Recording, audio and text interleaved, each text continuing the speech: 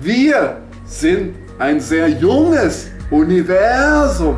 Wir sind in der Expansion. Immer noch. Weiter und weiter und weiter. Expansion. Mehr Lebewesen, mehr Spezien. Jeden Tag, jede Sekunde. Expansion, Expansion, Expansion. Es ist schwierig, selbst für uns einen Überblick zu gewinnen über die Größe, über die Vielfalt unseres Universums.